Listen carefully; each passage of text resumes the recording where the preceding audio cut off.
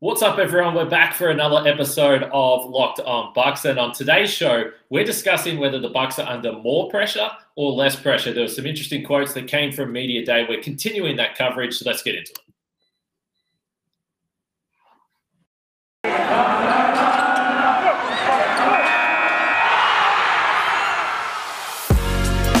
You are Locked On Bucks, your daily Milwaukee Bucks podcast, part of the Locked On Podcast Network. Your team every day. Welcome to Locked On Bucks. I'm your host, Kane Pittman. You can find me daily on this show and read my stuff over at ESPN and NBA Australia. And joining me, regular co host, first time on YouTube from the Technical Foul podcast. And you guys have just finished recording your weekly show, so you're doing double duty today. And I uh, certainly appreciate that. Camille Davis, what's going on? And not too much, as you mentioned, double duty today. But when you're talking about sports and just you know being able to hang out with friends, it's it's a good time always. So I'm not complaining at all. So before we get into it, and I, I said in a little uh, pre uh, introduction there that we're going to be talking about the Bucks and whether we think they're under more pressure this year or less pressure, because I think there's a couple of ways you can uh, approach that question and look at that question. And I think some of the quotes we got from Media Day were interesting. But we do want to uh, thank everyone for making Locked On Bucks your first listen every day. And remember, Locked On Bucks is free and available on all platforms, uh, including YouTube now. So you can find it at Locked On Bucks. So, and I think it, it starts and ends with Giannis. And I, I, don't know which way you want to approach this, Camille. Um, but I, I think it was a question that I certainly tried to ask a number of players, and Khris Middleton was another one that I asked in regards to whether he feels any different way coming into this season after winning a championship. So, what, what would your answer be if I if I said to you, uh, I think uh, the Bucks are under more pressure, I think the Bucks are under less pressure after winning the title? I think I would kind of go back to your for- first point in that it all begins and ends with Giannis. And something that Giannis mentioned was he brought up how Shaq made up how you know David Robinson didn't uh, sign an autograph for him. He talked about the fact that Michael Jordan took everything personal. Um, just kind of figuring out finding that motivation for you to get you through. And I think that he's leading the charge with that being the, you know, pretty much the leader of the Bucks because if you think about it, are the Bucks really under pressure when a lot of the narrative around the Bucks is that you know this was a lucky championship and you know oh Kevin Durant's foot was on the line and oh if Kyrie was healthy oh if if Harden was healthy oh you know just the narrative around the Bucks championship run has some question marks from a lot of different people and I can definitely see this team using that as motivation like they didn't believe in us last year.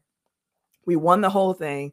We come back this year and they still don't have us as favorites. Like the Nets are still a favorite to come out the East. And it's like, we just won. Like we understand injuries and whatnot, but like we just won. And I feel like this team still has a lot to prove, although they're a championship team. But I think the fun in proving that, you know, that we are a real championship team is that you already have the pressure off your back of knocking that first one out. So you have that confidence from what you were able to build in the playoffs and you're able to go forward now. So I think like they're not really under that much pressure as a normal, you know, championship uh, defending team would be, at least in my opinion. Yeah, so I like the way that you tried to answer that because I feel similar. Uh, I, I, think it's interesting when you read, you know, preseason previews and teams that uh, people are looking forward to watching in the Bucks are never in there. They're, they're just not. I don't, I don't know why it is. When you see what Giannis did, what Jrue Holiday did, what Khris Middleton did, to me, they're they're among the most watchable teams in the league. Maybe it's the fact that we're in year four now of the Bucks being a really, really good regular season team. So there's not that level of surprise. There hasn't been that many changes. Perhaps last year the expectations were so low because people didn't think that they were going to perform in the playoffs. But at least there was the intrigue of Jrue Holiday. And at least there was the intrigue of what's going to happen with Bud. So maybe this year it's uh, not for me, certainly not for me, and not for Bucks fans, but maybe for other people it's a little bit boring. But here's why I think that the Bucks could be under more pressure, and and I think I look at it at an individual basis. So there, will be some players on the roster that'll feel much better. They performed in the playoffs. Maybe they don't go in feeling more under pressure, but I think someone like Giannis does. And you spoke about how he finds motivation. But I think one of the things that's going to continue to motivate him because he talks about wanting to be the greatest. He still says that Kevin Durant is, mm-hmm. oh, uh, sorry, LeBron James is the best player in the world right now. But he also made similar comments about Kevin Durant. And I think part of that is that he does respect those guys. Secondly, I don't think he's trying to start an all out rivalry with these guys. But if you look at teams that have gone back to back championships, so I just wrote a couple down that uh, were after Michael Jordan. So we know what the Bulls did in the 90s. But the right. Lakers, 2000, 2001, 2002, then the Lakers again in 2009, 2010, uh, Miami 2012, 2013, and then Golden State uh, 2017, 2018. And you think of who the stars were on those teams. For the Lakers, it was obviously Kobe, a guy that mm-hmm. Giannis, you know, idolized. And then you, the other two guys to do it with LeBron and KD, the best players in the in the world. So uh, you know, arguably along with Giannis. So I think for him, what he's building back-to-back championships is is a pretty juicy carrot to be dangling in front of him and something that I think that he would take really really seriously. That is a great point. I didn't even think about it like trying to chase the back-to-back mystique in, in that way when you highlight those superstars. And I think that both of our points kind of coincide with one another because I feel like that internal drive that like, no, I want to be a great. And I see that only these guys have gone back to back since Jordan. Like, no, I want my name to be there too. I definitely want that for me. And I could see that being something that they keep closer to the vest. Like I remember during media day, um, I can't recall which reporter asked the question, but they brought up how Khris revealed that "Do It Again" was on their their board or was the message that was spoken. And Giannis kind of like, "Who said that? That's new to me. I don't know about like." You know, he'll never really give us all those details, but I could definitely see that being something that drives him, that back to back mystique. Which, by the way, is absolutely ridiculous because everyone in the world heard him 30 seconds after they won the title telling Bud that they were going to do it again. I mean, the guy's a maniac. So that's ridiculous. I, I, I, don't know why you're trying to, to act like you didn't know that or it's not a thing. But that was something that I actually thought about when I was going back and listening to some of the interviews again uh, from media day yesterday. I, I was sort of I sort of kicking myself. I'm like, I should have just directly asked him what back to back means. It's not that we're not going to have more opportunities to do so, but I, I think it's I think it's really fascinating. I, I, think when you look at players like Khris Middleton, perhaps I, I do think that despite him saying that nothing changes, despite him saying that they've won the title and they'll go in with the same uh, motivation, I, I, think in in game situations, I think there's less pressure on him because he's proven it. He's done it. I mean, this guy went absolutely off in all the most important parts. So I think individually that might be a huge benefit to him. Um, but again, I just keep coming back to the chasing greatness and Giannis uh, hoping uh, that he could be that guy. And it, you think about the legacy he's already got. We spoke about it last week with Frank on the show and his resume for a 26 mm-hmm. year old. You want to add back to back titles, maybe another finals MVP, maybe another regular season MVP. That the, the path just continues to to spike.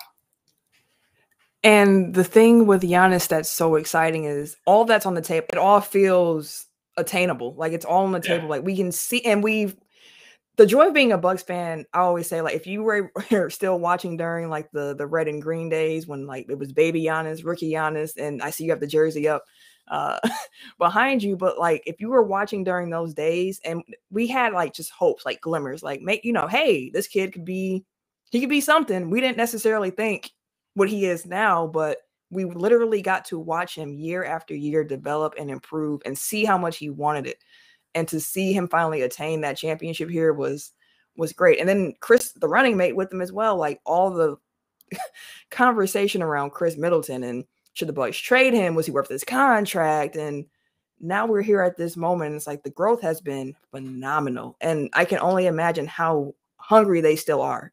And those those years weren't that far. Like that wasn't that long ago, where Toronto was babying us in the playoffs, and we couldn't make it past Boston in the first round. And I don't know. It's cool to see, and I think they're gonna be hungry in part because of what they were able to, you know, accomplish, what they had to overcome, but also what I mentioned earlier, where they're still not seen as the favorites, even though they have shown their growth and their improvement and that they put the work in. And it's still it's still not enough for some people. And there's something to be said for stability as well, because you know we look what's going on in Brooklyn, and yeah, look the talent. I, am not going to sit here and say that on, on pure talent and superstar talent, the Nets don't have the edge. Like I'm perfectly fine with the fact that they're favorites, but the reason why uh, people have questioned them in, in the past is because the instability, whether that be injuries, whether that be other factors uh, that we see play out. So who knows? There's something to be said for the Bucks locker room, the guys that they've brought in, and the stability they've been able to have. So you mentioned the jersey I have behind me, and this is the benefits of YouTube. We don't have Frank's dog Blanche or Dudley on the show today, but you will see this hat I'm wearing, which is like kind of a retro. For those listening, this pinstripe uh, old school bango. I just found this in a box. Uh, it was very dusty, so I put this on. You've, you've, you've got uh, you've got a fantastic Brewers top on. We know the Brewers are rolling. It's uh, going to be an exciting time. They said there's going to be some uh, parties in the Deer District, which they did back in 2019 when they made their run as well. So that's going to be a lot of fun. I've got a question for you when it comes to the roster and if you think there's any holes. Uh, so we're going to get to that. Before I do that, I'm going to talk about sleeper. Uh, do you play fantasy basketball, Camille? I do not. Only uh daily fantasy against friends if we do like a little private pool. Interesting. So daily fantasy. That's that's interesting because I don't play fantasy basketball either. Uh, I always just get tired of it and and I run Same. out of energy by you know before Christmas. So anyway, let's talk about sleeper. In 2018, the fantasy sports experts at Sleeper realized that fantasy basketball was broken. Games were being won and lost based on whose player had more scheduled games that week. It made no sense and required very little strategy. So in 2020, Sleeper released a brand new way of playing fantasy basketball. It's called Game Pick, and it's only available on Sleeper. In Game Pick, owners pick a single game per week for each starter to count towards the team's total score, ensuring an even number of games played per opponent. So that's what we're talking about here, Camille. It cuts out the time. You don't have to worry about changing your lineup every single day and, and guys that are questionable heading into the game or injured or whatever it may be. Uh, you're set up at the start of the week, which is uh, which is fun. It makes it easier, less time and the only way you can uh, do this is if you download the Sleeper app and start a game pick league. You will not be disappointed. And uh, speaking of not being disappointed, uh, this is a situation that's very familiar to, I'm sure, everyone that's listening to this podcast. And it's related to DirecTV Stream. If you've got one device that lets you catch the game live, another that lets you stream your favorite shows, and you're watching sports highlights on your phone, and you've got your neighbor's best friends log in for the good stuff, I can tell you a way uh, that you can simplify all this and there'll be no hassle. It's called DirecTV Stream and it brings you live TV and on demand favorites together like never before. So you can watch your favorite sports, movies, and shows all in the one place. That means no more juggling remotes and no need to buy another device ever again. And the best part, there's no annual contract. So get rid of the clutter and the confusion and get your TV together with DirecTV Stream. You can learn more at directv.com. That's directv.com. Compatible device required. Content varies by a package. As we get back into it now, I mentioned this right off the top, but uh, we do want to thank you for making Locked On Bucks your first listen every day. We're about to get into a segment where I ask you about a potential hole on the roster if you think there's any holes on the roster. Uh, but when you're done listening to Locked On Bucks, uh, jump across and listen to the Locked On Fantasy Basketball podcast, the number one fantasy basketball podcast in the world. Uh, that's that's a fact. I mean, when I heard the numbers that that podcast does, it's it's absolutely ludicrous. People are into their fantasy basketball. There's no doubt about that, Camille. But when you look at this roster, the last couple of days we've seen the moves. Diakite gone, Elijah Bryant gone. 14 guys on the roster, uh, 13 guys with fully guaranteed uh, contracts. I wasn't sure whether uh, Yorgos Kalaitzakis was going to come out for the start of the season, but it, it, it, he's he's here. That's what I'm told. He's here, and I expect that he will be on uh, the main roster there. So when you look at it, do you see a- any potential areas of concern for you with the guys that they do have? I agree with the general consensus around maybe a little short on bigs. I feel like we have a lot of guards, a lot of guys that can handle the ball I mean, be put in different situations. Like you can definitely throw out a two point guard lineup with Jrue and George, and that's fine. Like there's a lot of different mixing and matching you can do with the guards. But as for the bigs, you got Brook, you got Giannis, you got Bobby Portis. Uh, the Bucks will play Thanasis and Semi at you know small ball fours, but that's the, the really small ball fours. Uh, that's the only area where I would think we're kind of weak at. Um, and even I mean, that's what we had last year outside of uh, Semi, but we had PJ. So that is what it is. But if you wanted to strengthen any area, I would think that would be it. You can never be too short on on defensive wings, but the Bucks have Jrue Holiday, they have George Hill, they're gonna have Donte returning from injury, they have Pat Connaughton, Grayson Allen. they got Rodney Hood, Jordan Nwora. I mean, that's not the defensive part, but they got Jordan Nwora. And so I feel like they're kind of set when you look at the wing and the guards, but they could tighten up the big rotation a little bit more.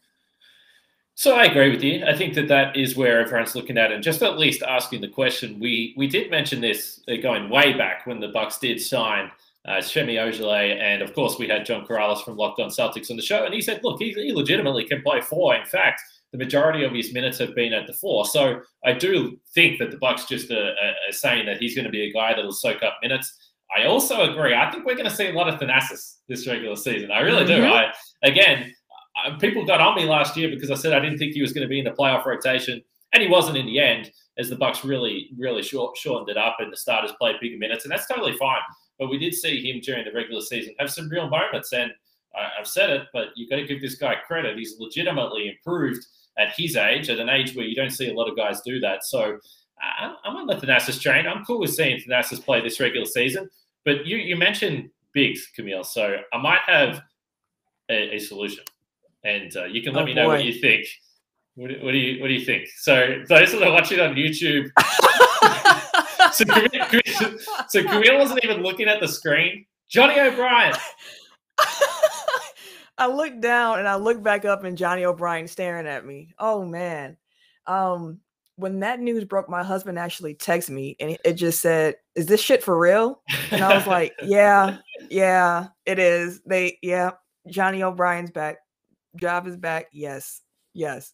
What a what a, just a random thing. And and I don't think anyone's sitting here.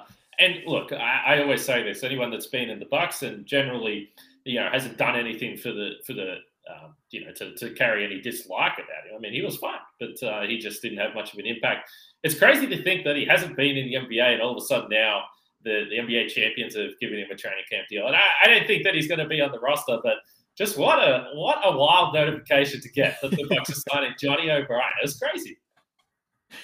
Honestly, and Johnny O'Bryant, that's a name I haven't even really thought about since he left the Bucks. Like I had to actually look up what he's been up to yeah. since his his NBA stint. I wasn't aware that he went overseas and, and kept playing. So who knows? Um the the the storyline would be amazing if Johnny O'Bryant was actually talented. Like if he was able to make the roster, like wow, Johnny has improved oh, yeah. and he's back and things of that sort. I'm also on the team. Like let's bring old Bucks back. Like let's give some old Bucks like the 15 spot on the bench and just for nostalgia reasons rock out with that. I've, I've been on that train too. Johnny O'Bryant's a stretch one for me though. Um, that's that, that's that's one I have not considered saying let's bring back, but hey, if if he was able to earn a shot in training camp, I'm definitely cheering for the guy. Um, hope the best for him. Yeah, we might see him play a few minutes in the preseason. Uh, as we discussed yesterday with Frank, I mean, it, it, just doesn't really make much sense for the Bucks to to sign a 15th guy right now. It, it you know, mm-hmm. for all sorts of reasons. And again, we always say this: it's not for us to, to care about the owner's money, but it, you, if you just do the simple simple math, it doesn't make sense uh, for them to sign a guy now. They're probably better off waiting towards a buyout season, trade deadline, whatever it may be, and see what plays out because you don't know uh, what obstacles are going to come your way during the season. What about uh, closing lineups? I, I, think it's interesting that you did mention George Hill because it's kind of strange. I don't know if it's just me that I, every time I think about the roster and then I see something with George Hill, I think, oh, yeah, he's back. I, can, I, I keep on forgetting that George Hill um, is is back with the Bucks, but it could be a significant addition. And I think the idea of playing him next to Jrue Holiday is is intriguing. Definitely. During last season, I I said a few times like I would feel a lot more confident about the Bucks championship hopes if they had someone like George Hill as a backup point guard. I said that a few different times, and to see George Hill actually back on the roster after winning a championship, something I didn't did not expect to see, but I am very glad to see it because I feel like you can do so much with George Hill um, as your backup guard. The Jrue George lineups could be deadly defensively um, if, if things go the way I'm thinking that they could. You throw a lineup out with like with George, with Jrue, with Khris, with Giannis, with Brook. I mean, I don't. that's really tough. That's that's that's really tough to get past. You can even put Giannis at the center and play small. Like there's so much you could actually do with that double guard lineup when you have two guards that you can both you can trust both of them to handle the ball. You can trust them to be communicating, to be in the right place, to play defense. It could be a lot of fun. You could even throw Bobby out there as the forward Giannis as the the big there to get a little bit more uh, offense in that situation to have Giannis, you know, being the rim protector. But there's a lot they can do depending on what the game is calling for. Yeah, I think you know, particularly with George Hill, I, the way that I look at it, there was times last year where we said, okay, well, what are you going to do with Bryn Forbes? He was great against Miami, but after that, you couldn't really play him. So if you think about having those two guard lineups with Jrue and George Hill, he's just he's bigger, he's longer, um, he's he's proven to be a very good shooter. Is he going to shoot uh, up into 40% again? Certainly hope so. Um, and then he can just defend, as you pointed to. So, yeah, I think it's exciting. Then you add the other guys that have played in small ball lineups mm-hmm. previously with Pat Connaughton, Donte DiVincenzo, and then even uh, Semi Ojeleye, as, as we pointed to as well. So I think versatility is going to be key. Uh, when we come back, I want to ask you about any silly quotes that you heard from media days, because there was one in particular that caught my eye uh, today, and uh, we we need to discuss it because it was absolutely ridiculous. But before we do that, uh, let's talk about Built Bar.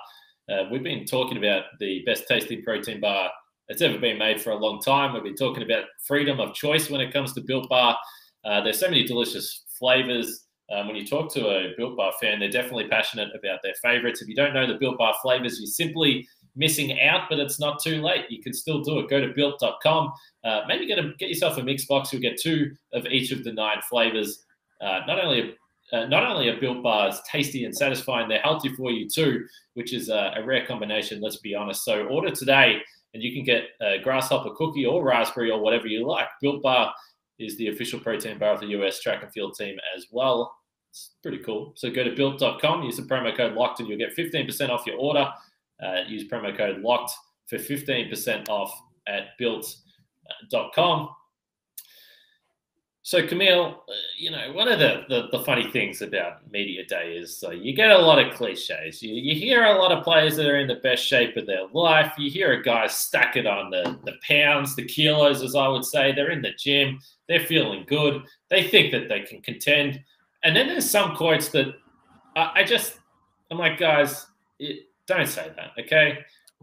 We didn't really get any of that with the Bucks. Um, I've said it before. It's really a, a jovial, uh, I would say, media day. Everyone was in a great mood. Plenty of jokes, plenty of laughs. But the Golden State Warriors media day, Avery Bradley. I saw this come across. Uh, it was Kendra Andrews that uh, did this tweet. Of course, the sister of Malika Andrews. Those guys are just taking over the media world. It's incredible, uh, incredible to see the work that they're doing. But Avery Bradley, and I don't have the tweet up in front of me here, but well, yeah, paraphrasing, but he said, "I think I'm the best on-ball defender in the NBA," and it got me thinking because because clearly he's not. I mean, it's just a ridiculous quote. And it got me thinking about NBA locker rooms. We know everyone's supportive. We know everyone likes pumping each other up but I like if I was friends with Avery Bradley, I would be I'd be taking the piss out of him for saying that. I would say, dude, I'd say, dude, that you can't be saying that. That's absolutely ridiculous. Do you think that his own teammates would have been laughing at him for that quote? They would have to be. I mean, there's a lot of great perimeter defenders in the league right now. I mean, we just saw what Jrue did all throughout the playoffs, throughout the finals. We saw what Jrue did in the Olympics when you know he was able to be a little bit more physical with his hands. So I don't know what Avery was thinking. I mean, you even have, I mean, Ben Simmons, you have Kawhi Leonard, you have uh, Matisse Thybulle. Like there are there are quite a few guys who I think would have a problem with him having that claim of being the best on ball defender. I'd prefer Ben Simmons to defending on the perimeter, and he's not even playing right now. He's not even showing up to training camp, and I'd, and I'd still prefer him over Avery. Avery Bradley hasn't even played. What's he on about? I don't know. Did you see any other ridiculous quotes or anything that, that was just uh, outrageous? I, I, feel like media day was a little more tense than it than it usually is, so maybe not. Yeah. So I mentioned before we started recording when we were recording Technical Foul, we covered media day, and it was mostly just like the drama aspects or like takeaways that kind of made us be like, "Oh my gosh, why?" We did not mention the Bucks because the Bucks didn't have any drama, and I didn't mention any funnies because I didn't have any real funnies to uh, to point out. Because I do agree, I feel like the general tone of media day was a little bit more tense.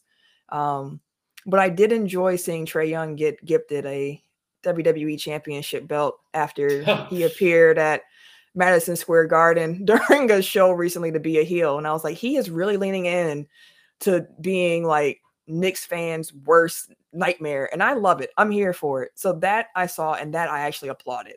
I like that.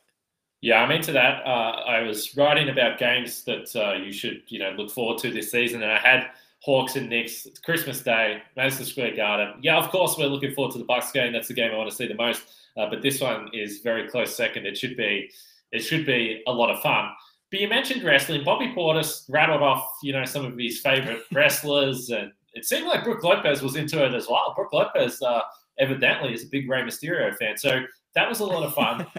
what do you think about Bobby Portis? And I don't think I've brought this up with you or on the show before, but it is just a curious thing. What do you think about Bobby Portis uh, using? Uh, so, for instance, this is a Bobby Portis, Bobby Portis quote. Uh, I, I, just want to be the best Bobby Portis that Bobby Portis can be. What do you what do you what do you think about the uh, the third person usage that he rolls with? I'm here for it. I mean, I'm a I'm a '90s kid. I grew up watching The Rock, and yeah, all we heard yeah, The Rock yeah. say was, you know, The Rock does this, The Rock says this, The Rock says know your role. So, third person to me is not that unheard of, and given Bobby's personality, it also fits very very well. Yeah, I, am not going to knock him for it. It's different, but uh, he speaks with so much. Him. It works for him. Uh, he speaks with so much passion, but there's like a mix between uh, passion and then just the silliness. He's laughing and, and carrying on. So, uh, you know, one of the things I wanted to ask him yesterday, didn't get a chance to, was just uh, the sacrifice that he made. Mm-hmm. And you did kind of point to it the fact that Milwaukee, um, and this might have been before we started recording, but, you know, Donte DiVincenzo, you know, insinuating that Milwaukee has become a bit of a destination franchise. Um, certainly not something that we've been used to in the past, and certainly not something that long time Bucks fans would expect. You always got to free agency, and you're like, all right, can can all you other teams uh, get your signings out of the way so we can pick up the scraps? That's honestly what it was like, but it has changed now. We've seen it with the buyout market. We've seen it with you know players like Bobby Portis, and admittedly, he came off winning the championship. He understood the system, and it, and it obviously worked for him. It was a great place for him. But it is remarkable. It's not worth forgetting the transformation this franchise has had. Remember, you only have to go back a few years ago when the Bucks signed Greg Monroe in free agency, yes. and that it was like a it was like parties on the streets. It was like a, a it's this huge franchise moment. like he chose us, like somebody chose us. Over New York. Because, yeah, like he chose us, Milwaukee. Like, wow, Greg Monroe, like that's our guy. Like we got Moose, like let's go, like it's time. And look where we are now. Again, it's if you've been a fan for a long time, like this this whole summer has been just completely surreal. Where it's like every so often I'm like, we won a championship. Like the Bucks are NBA champions, and I'm like, wow, like they actually did it. They actually did it. And one thing I do plan to do before next season starts is rewatch this this last playoff run. I want to see all all the series, all the games, go back hear old podcasts from around the time, um, and just kind of relive that moment before as Giannis would say, we start something new, a new challenge, a new chase. Yeah, well, you haven't gone long. You better get started with that because we've got preseason basketball coming up this weekend.